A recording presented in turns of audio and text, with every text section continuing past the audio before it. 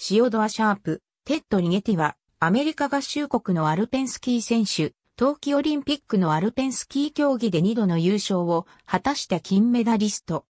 アメリカ合衆国ユタ州ソルトレイクシティ生まれ、パークシティで育ち、2005年から FIS ワールドカップに参戦。得意種目は大回転。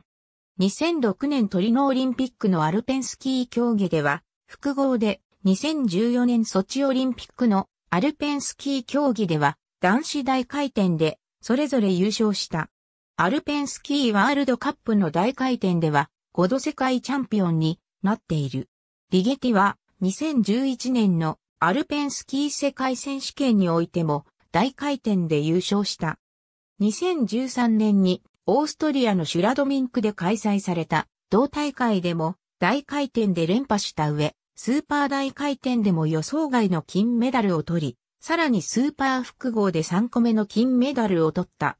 リゲティは2015年12月までにアルペンスキーワールドカップで延べ24勝を挙げ、49回も表彰台に上っている。オリンピックにおける大回転の金メダル、ワールドカップ大回転の23勝、世界選手権大回転の3回の優勝、5回のワールドカップタイトルという実績によって、リゲティは大回転において歴代でも最高の選手の一人となっている。ありがとうございます。